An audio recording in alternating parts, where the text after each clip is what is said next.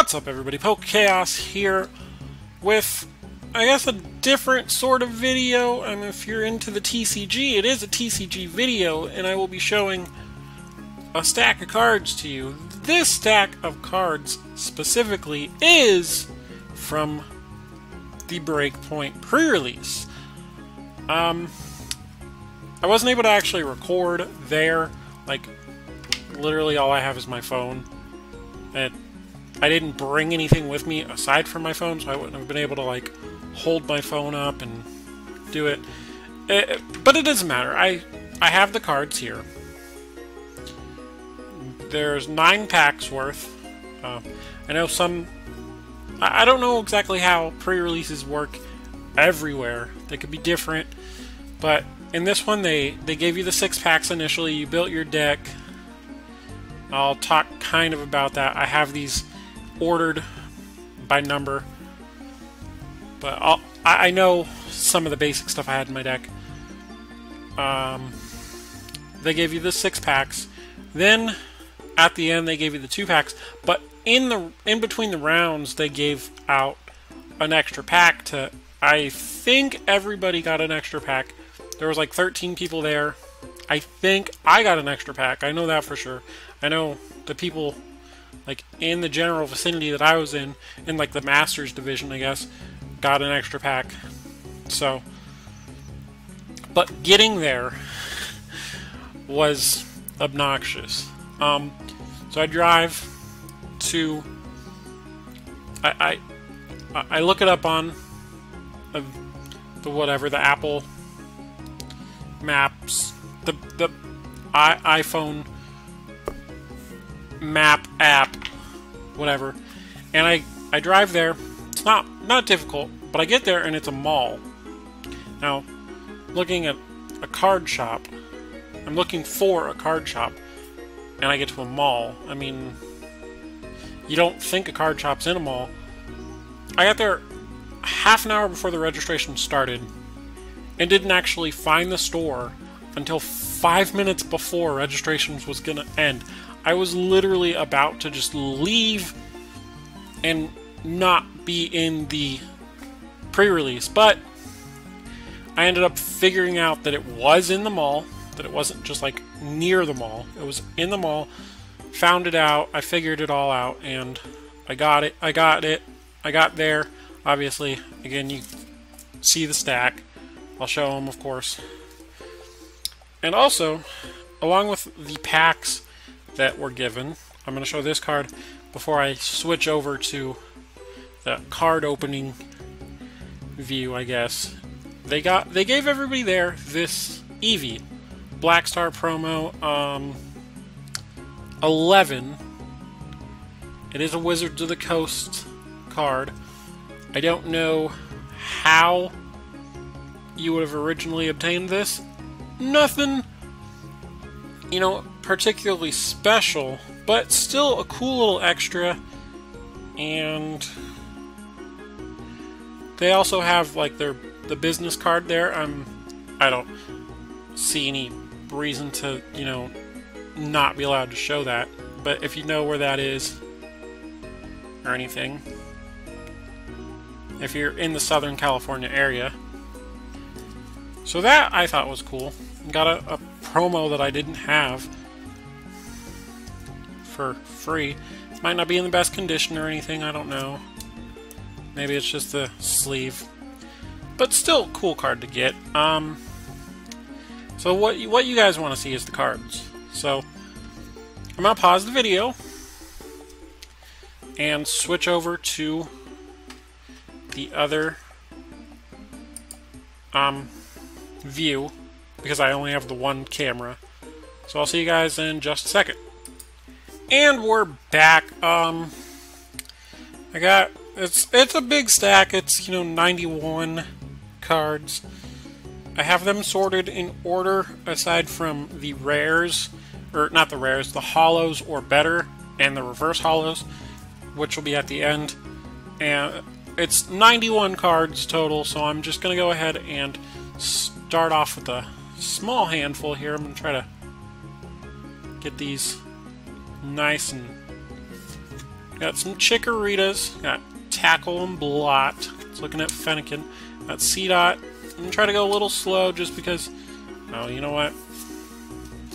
I have them in order. And then I'm to put them in reverse order. So got Seedot. It's got Ram. I'm assuming Nuzleaf and Shiftry are probably also in the set. As you can tell, I didn't get it. I got Kricketot, got Kricketune, Petilil, Growlithe. Now, Growlithe and Arcanine from the set, common and uncommon, but two of my favorite cards from the set right now because Arcanine is what won me two of my three rounds. Uh, a lot of people, well, at least the people in my division got Sigilyph, which one of its attacks is like if you damage it during your next turn, you it does 60 damage to you. Fortunately for me, I had this Arcanine, which its flamethrower attack does 90 damage, which is exactly the HP Sigilyph had.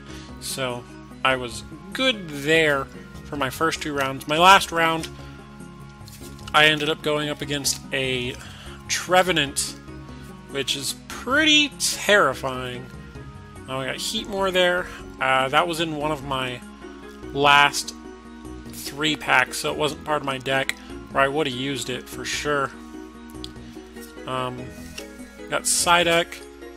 Mostly I used Arcanine. I relied on Arcanine along with um, I built a fire, water, electric deck. Uh, the two electric Pokemon that I had, fortunately for me, used colorless energy, so I only had to have fire and water energy in the deck. When I get to them, I will make sure to mention them. I didn't use any of these shelters or something.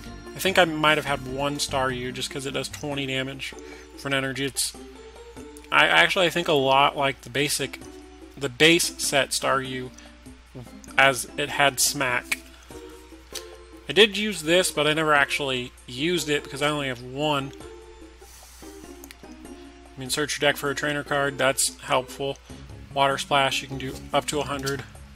I think I had that in the deck, but it didn't do anything. Like, it didn't get used. Got some Tympoles, Palpitoad, I had those, but again, didn't use them literally the only thing successful for me in using was Arcanine. So that was that stack. I'm gonna... Oh, yeah, okay. I just happened to pull a bit of a stack and it stopped it before I had any doubles. This, if I had gotten it, well, I didn't get any Duckletts. This would have been helpful if it wants to focus on the attacks. Are you... Come on, camera. There we go. Because it uses colorless. I mean, not that there's a colorless energy. Then I had Fro uh, the Froakie line. I only had three, or one of each. So it never got used. I tried in my last match, but only ended up getting Froakie. Um, so you should get two. That was like my last rare. No, it was my second to last one. I used Blitzle and Zeb Zebstrika because they both only use colorless and I figured Crashing Bolt if it had came to be would be helpful being that it does 60 more damage to a Pokemon that has fighting resistance. I got Drowzee, Hypno, uh, with the Goodnight Babies. Once during your turn before you attack, you may leave both active Pokemon asleep. Got some Skorupis. Nothing special about that. Espurr, Doublade.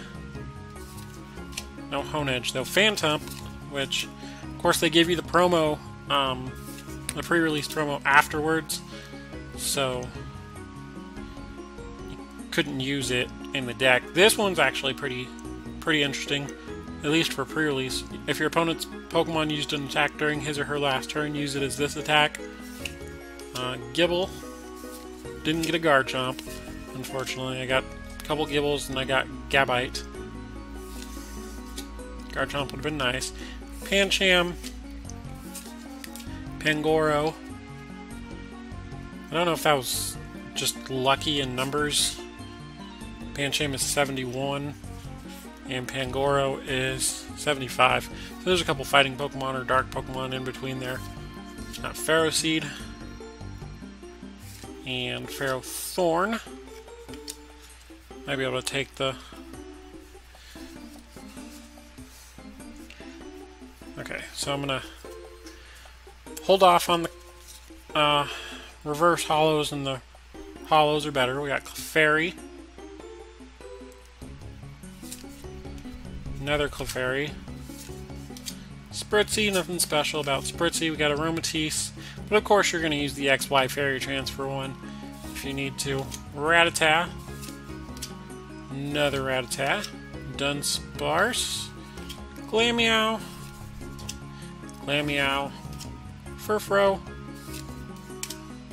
Furfrou again. Delinquent. This is a card. I mostly play TCGO.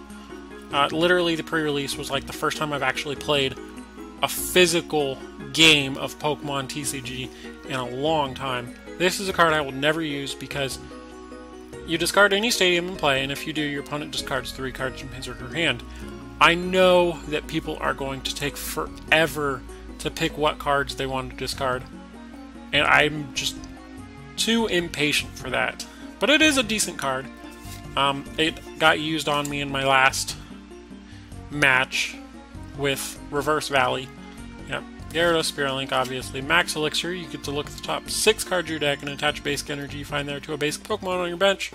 Shuffle the other cards back into your deck. Misty's Determination, this is a, a supporter I'm glad I got. Discard a card from your hand if you do. Look at the top eight cards of your deck and put one of them into your hand. You don't have to show it to your opponent.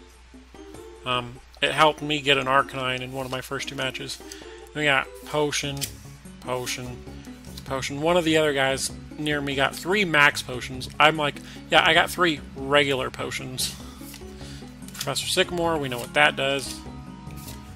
And Splash Energy. This card can only be attached to a water Pokemon. Obviously, if the water Pokemon this card is attached to is knocked out by damage from an opponent's attack, put that Pokemon into your hand, discard all cards attached to it. Nothing special. Would have liked a better effect. So now we'll go on to the reverses slash holos are better. First up, I got a Cloyster. I don't think I got this regularly. Sudden Grip and Surf. Uh, Palpitoad, which I know I saw earlier. Shinx. Trubbish. Another Doublade,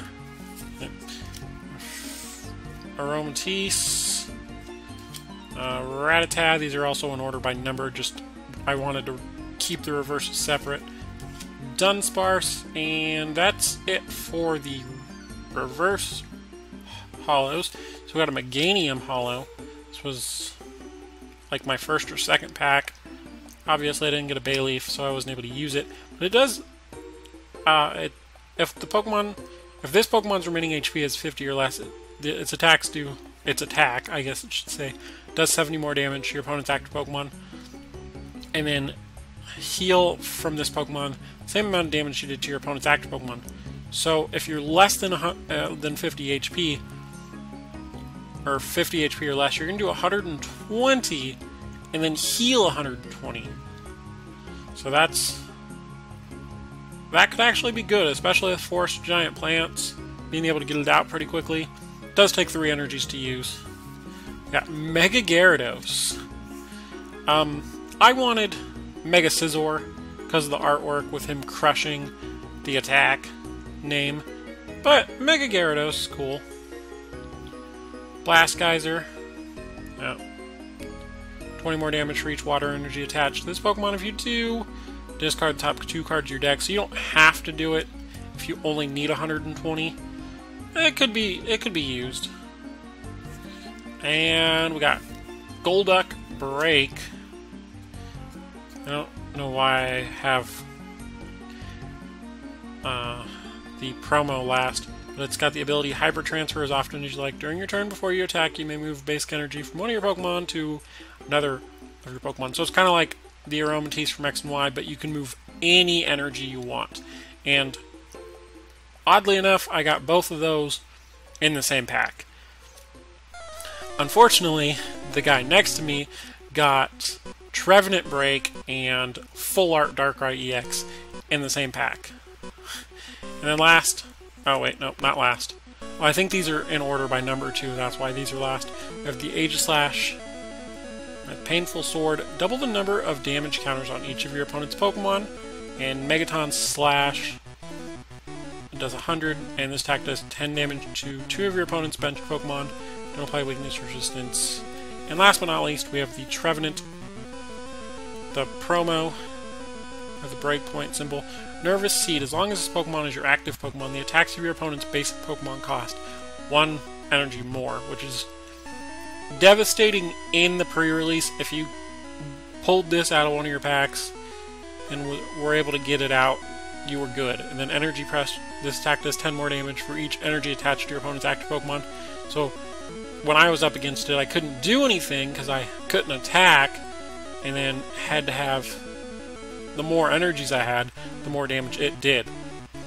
But that, that was all the cards that I got. Um, I was happy, even though I only got uh, one EX and one break. Did see some other people cool, pull some cool stuff. Um, but I have to say, the event itself was awesome. Will I go to the next one for Fates Collide? Definitely. I don't think there's one for Generations, so I can't say I would go to that one. But uh, for Fates Collide, definitely. Especially because it has Alakazam EX, and that's... Alakazam's one of my favorite Pokemon. Maybe like top 10. But I'll definitely go again. It's too much of a drive to actually go to like regular events, like tournaments and stuff. But for pre-releases, I'll definitely do it. 30 bucks get got me 9 packs and a cool promo. Well, two cool promos, I guess. So if you guys are debating on going to a pre-release, if you have a pre-release near you, I would suggest going if you like the TCG. But that's it for me. Um, I'll see you guys next time. Bye.